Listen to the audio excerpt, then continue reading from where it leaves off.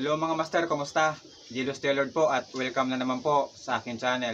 Ngayon mga master, isi-share ko sa inyo kung paano gumawa ng pants scrub suit mga master. Hiwalay, ito ang gagawin ko ngayon ay hiwalay, hiwalay ko na yung parts ng front parts at saka sa back parts para sa mga beginner ay maintindihan natin kung paano tabasin at ah, i-pattern ang paggawa ng pants scrub suit mga master. So ito na, ah, start na tayo. Ito ayusin ko lang ng ano ang aking ting ah, camera, camera cellphone. So sana maayos. So ayan. So ayan ang ating measurement. Ang ating ah, measurement ng ating pants scrub suit ay length 36, waistline 32, hips 39. Ang ating hita ay 22, ang ating knee ay 16, ang ating bottom ay 14, ang ating crotch naman ay 9. Ngayon, ito ay garterize ito sa ating ah, waistband, sa waistline. Garterize siya. Tapos, ah mayroon itong 6 packet. I, i- i-ano ko na sa inyo kung paano maglagay ng 6 packet naman. Sa mayroon itong packet sa sa bandang tuhod. So ito, ah, anong gagawin natin? Ah isang pattern lang muna yung ilalagay natin. Ganito, isang pat isang pattern lang muna ito. Tapos i, ano natin sa ah i magsusukat tayo ng ating ah, measurement. Unang gagawin natin, ang ating length ay 36. So mula dito sa taas, mula dito sa taas ng ating pattern dito, kahit mag-down tayo ng ah, 4 inch, 4 inches, ayan, down tayo ng 4 inches. Sukat tayo dito mula dito, start tayo ng ating ah, length na ah, 36. Ito sa 36. So ito, ano ko lang, na-check ko lang kung kita ba sa camera kasi hindi ko na-check pala ito. Ayan. Ah, so kita naman siya, sakto. So ito yung ating length, 36 mula dito. Tapos kukunin na rin natin ang ating measurement ng ating crotch mula dito na 9. So mula dito sa 9, ba- baba tayo ng 1 half kasi dito mag-down tayo sa front naman ng 1 half. So baba tayo ng, oh, bali 9 mag-add tayo ng 1 half kasi dito sa ano, mag-down tayo. Bali 9 ang 1 half ang gagawin natin. Tapos magsukat naman tayo para sa tuhod. Mula dito hanggang sa length na ah, ano ito nasa 26 and ah 1 4 ito 1 half 26 and 1 half. Ay divide natin to ng 2 so at 13 1 fourth. So 12 so mula dito sa 13 1 fourth ayan akyat tayo ng 1 and 1 fourth ito yung ilalay natin pa vertical so ito siya ilalay natin ganyan lang natin Ayan. Tapos ito naman, ganyan din nasa natin. Ganun din dito. Ito yung lalay natin yung na, pangalawang mark natin and inakyat natin. Ayan. Tapos dito naman. Sa laylayan. Ayan. Tapos, mag sukat tayo dito ng letter. Ilalay natin to letter eh, letter T kasi ito eh. So, ganyan. I-divide lang natin itong ah, pattern. Ito, divide lang natin to Gitna lang. So, ganyan lang. Ganito lang siya. Ayan.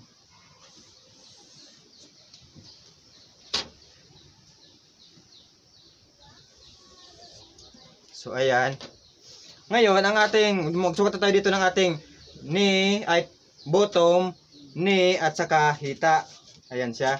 So, ang ating ah, bottom, magsukat tayo dito sa bottom, ang ating bottom ay 14. So, ngayon, ang gagawin natin dito sa bottom na 14, i-divide nat- natin yan ng 2 is equal 7. So, ito, dito tayo mag-start ng 7, gitna natin itong 7, dito, dito, ano siya, 3 and 1 fourth, ito siya. Ayan, ito yung 7. Ayan, 7. Ayan. Ngayon, papasok tayo ng 1 fourth at 1 fourth dito. Lalabas naman tayo dito ng 1 fourth at lalabasin tayo dito ng 1 fourth dito. Ito yung gugitan natin mamaya para sa front part at saka sa back parts. Ayan siya. Kung sa square naman, kung paano yun gamitin, kung hindi nyo pa alam kung paano gumamit ng square, panoorin nyo lang yung aking video tutorial kung how to use square for pattern making kasi mas madali kasing paraan yung kung paano gumawa ng pattern mga master. So ito siya. Itong 7 na ito, makikita natin yan dito. Itong 4 14 na buto, makikita natin yan dito sa ating square. Ah, ma- mayroon tayong makitang 14 dito, mayroon din tayong makitang 14 dito at 14 dito. Itong 14 sa gitna, ito yung gitna, gitna natin dito sa line na ito. Ayan, makapag-mark tayo dito ng 14 at saka dito. Ayan siya. So ngayon, next naman natin yung ah, ni, ito yung tuhod na 16. So dito sa square, makikita natin yan sa square ay meron tayong 16 dito sa gitna. Mark na natin to. Meron din tayong 16, di- 16 dito makikita. Ayan. Kung sa ruler yan or sa tape measure, ang 16 divide natin ng 2 is 8. So ito siya, 8 siya. Ayan. Ayan, 8 inches. Tapos pasok tayo ng 1 port, labas ng 1 port.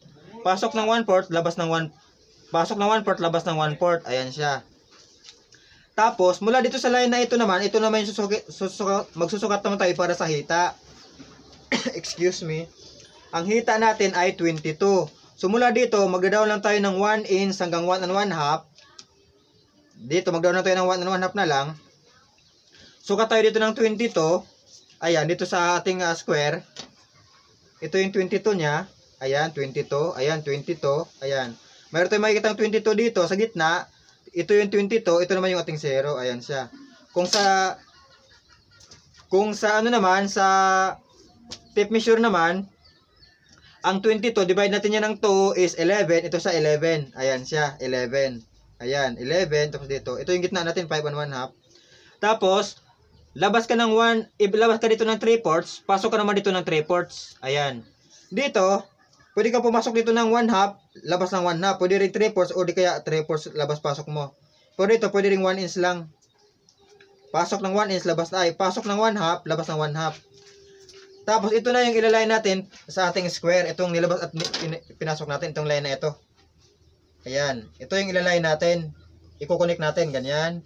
Ito naman. Ayan. Ayan siya. Tapos dito ito naman i-connect natin. Ayan. Tapos ayan. Ngayon, dito naman sa hita, mula sa tuhod, gagamitin na natin ito ng ah, kurba. Ito, ito na yung ating gagamitin kurba. Ayan, ididiretso natin ito hanggang dito no, sa hit, sa ano, nataas na. Ganyan. Ayan. Tapos gan- dito, naman, igaganyan natin. Ayan, dito, ganun din dito. So, ayan. Ngayon, mula dito, ito, magsukat na tayo pag pa hanggang dito ng 1 and 1 port. Ayan siya.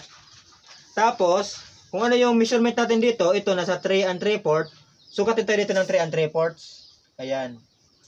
3 and 3 ports yan. 3, 3 and 3 ports. Dito naman ay 3 and 3 ports.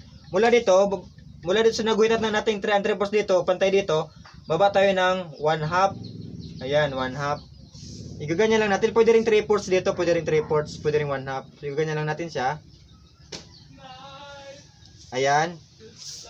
Tapos, ito, ika-curve na natin yan pa round. Ganyan, ganyan lang siya. Ayan, para yan sa crotch ng front. Ayan. Tapos, dito naman, mag-mark naman tayo dito ng, sukat naman tayo dito, dito ng 3 ports. Pwedeng 1 half, pwede rin 1 inch, pwede rin 3 ports. Ayan, sa depende sa size. Tapos dito naman, sukat tayo ng mga start tayo ng 1 inch hanggang ah, 2 and 1 half yan siya. Pwede, pwede, mula dito, sukat tayo dito ng mula, pwedeng 1 inch, pwedeng 2 inches, pwedeng 2 and 1 half, hanggang 3 inches yan, sa, depende sa laki. Pero ito, pwede tayo magsukat dito ng 1 and 1 half lang. Ayan. Ito yung ikukunik natin pa ganyan. Ayan, pa ganyan. Tapos, mula dito, i-round na natin pa ganyan sa ating crotch naman ng ito yung para sa back. Ayan, ganyan siya. Tapos, mula dito, akit tayo ng 3 inches. Ayan. Dito tayo magsukat naman ng hips naman. Hips. So, ang ating hips naman ay 39. So, kung i-divide natin yan ng 4 is, ah, ano yan siya? Ah, 9 and 3 fourths. So, dit, so sa square, makikita nat naman natin yan dito is ah, yung 19. Ito yan siya.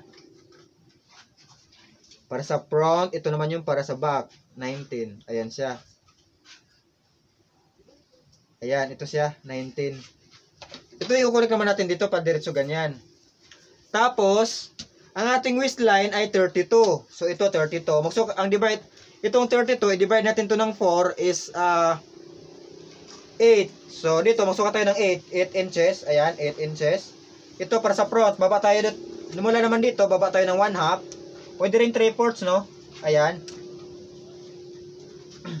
Tapos, itong sa taas, ito, uh, diretso natin to. Mula dito, akit tayo ng 1 inch hanggang 1 and 1 half. Pero ito, pwede lang tayo umakyat dito ng uh, 1 inch lang. Ayan siya. Tapos, sukat naman tayo dito ng uh, 8 inches. Para sa back. Ayan, ito. Ito yung kukunin natin. At dahil garterize ito mga master, so kailangan nating mag-add itong 32 na ito. 32, kailangan nating mag-add. So at least, mga 10 inches para mayroon siyang maibabanat. So dahil 10 inches yung idadagdag natin, pwede rin naman tayo magdagdag ng 8 inches lang, pwede rin namang 10, pwede rin 12, pwede rin mas mataas pa. So usual, uh, pwede namang 8, pagpalagay na lang natin na 8 inches yung ating idadagdag sa waistline para sa garterize. So, ibig sabihin, mula dito sa side na to, magdagdag tayo ng 2 and 1 half kasi divide kasi ito natin ng 4. So, 2 and 1 half, ito add ako dito ng 2 and 1 half. Ito siya. Ito yung connect na ko naman dito, diretso ko yan. Igamitin ko yung curve. Ayan.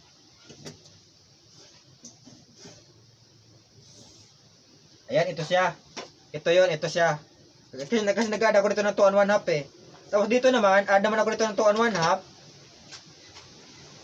Ito siya. Ayan. Ito naman yung para sa back parts. Ayan, straight ko lang to.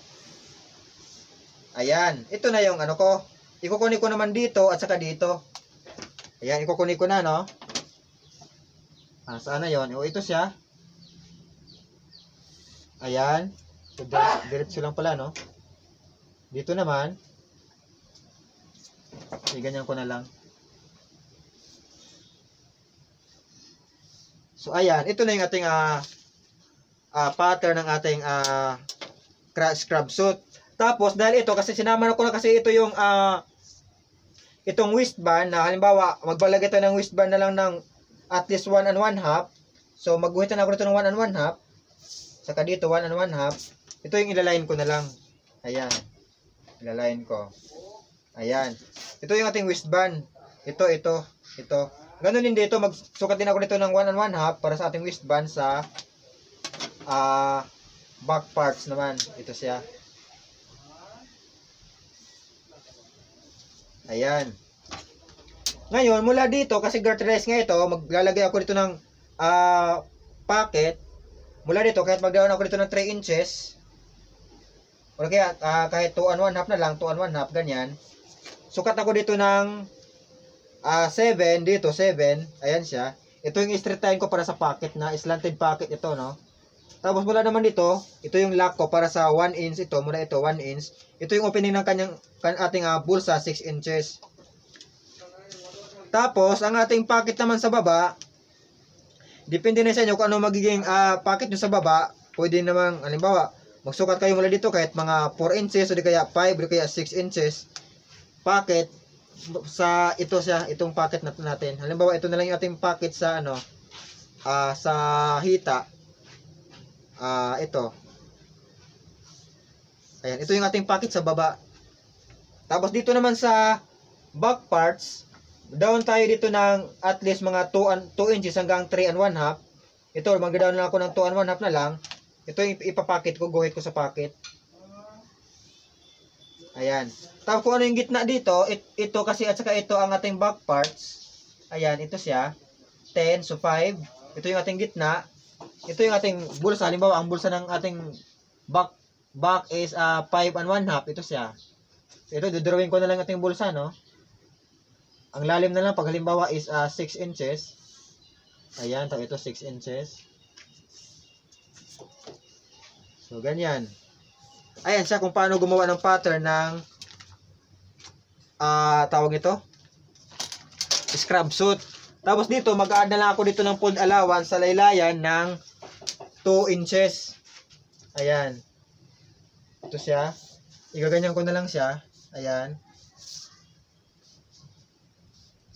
Tapos ngayon, tatabasin ko ito, sa, ang pattern na ito, na mayroon ng allowance para, ah, dun sa tila, hindi na kayo magdadagdag ng allowance. Tapos, hiwalayin ko na rin yung back parts at saka sa front parts para maintindihan at maintindihan para sa mga beginner. So, ito. Ito yung isang pattern. Idudubli ko siya. Ayan, ito idudubli ko. Para matabas natin yung front, front parts at saka back parts. So, ayan, ito siya.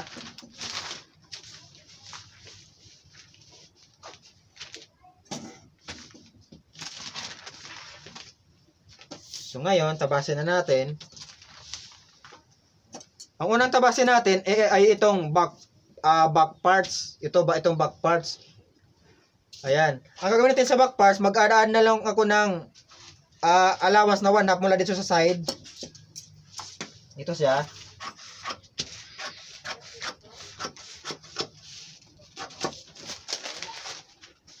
So, daganan ko muna ng sinulid para hindi siya mag ah, hiwalay. So, dito mag-add ako ng 1 half para sa sewing allowance. Para pagtabasin nyo sa mga beginner, hindi na kayo magdadagdag ng allowance. Ito, nag-add ako rito ng 1 half.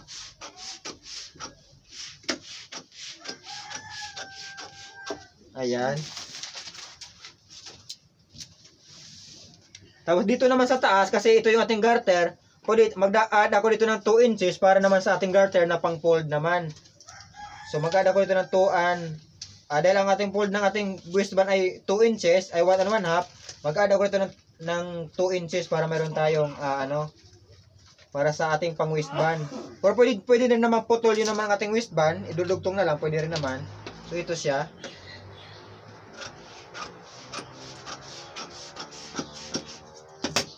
Ayan. Tapos, dito, ganun din. Add din ako ng 1 half para sa back parts.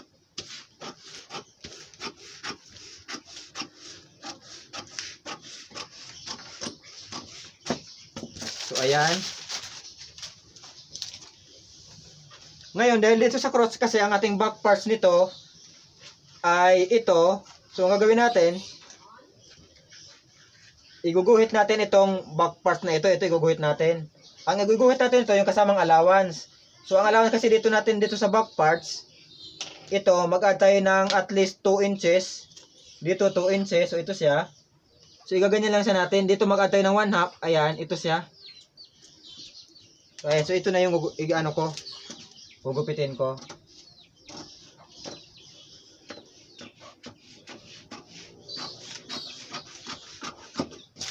Ayan. So, ayan siya. Iguguhit ko lang ang ano, ang para sa ating waistband na ating fold para maki- makita nyo. Kasi ito kasi yung magiging back parts natin mga master. Ito siya, ito malinis. So, iguguhit ko lang.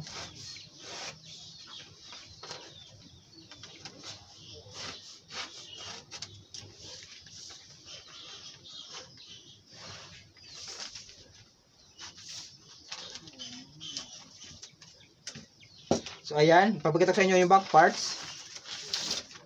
So, ayan. Ito na yung ating back parts. Guhitan ko lang yung pang waistband natin.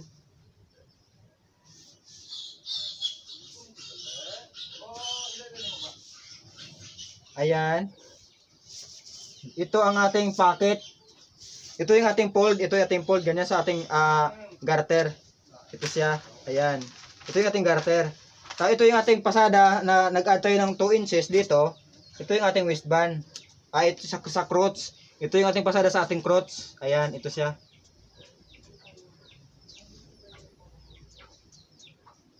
Ayan. Malaki yung ating allowance dito para pag meron tayong alteration sa waistband, look, ah,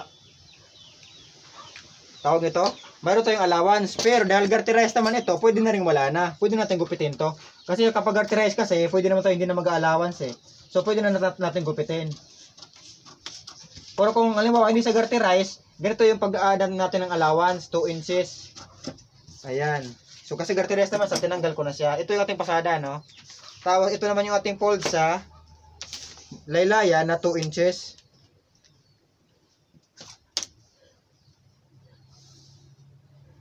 Ayan. So ito, finish pattern ito, ito na yung tatabasin natin kapag tayo ay mag ano, ah ito back parts. Ayan, back ito ng ating pantalon ng scrub suit, garterized ito. ito yung ating pocket, ayan. So, depende na sa inyo kung anong klase ng ano ng pocket ang style, ayan siya. Itong pagtatabasin natin ito, diretso na ito sa pattern, wala na, wala na kayong idadagdag na allowance. Tapos ngayon, ito namang front part na tatabasin natin, ito naman siya. ito yung ating front parts, ito. Ito yung ating front. Ito, ito. Ayan. Tapos ito. So, gugupitin ko yung ano, ah, back, guhit sa back parts. Ito yung, ito na yung ating front parts. Maglalagay na ako ng allowance. Ito, ito yung ano, mag-add tayo, add tayo dito, dito ng 1 half. Dito add din tayo ng 1 half para sa suling allowance. Para sa ating ano to, front parts na ito ng ating pan scrub suit. So, ayan. Ganun din dito sa taas, ah, sa side.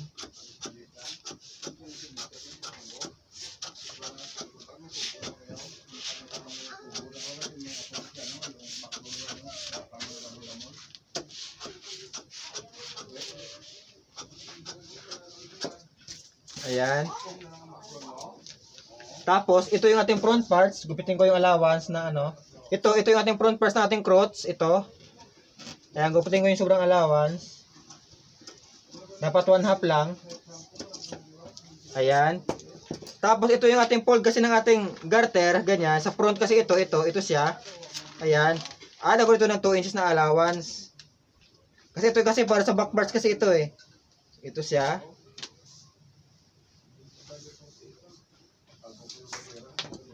Ito siya. Para sa front.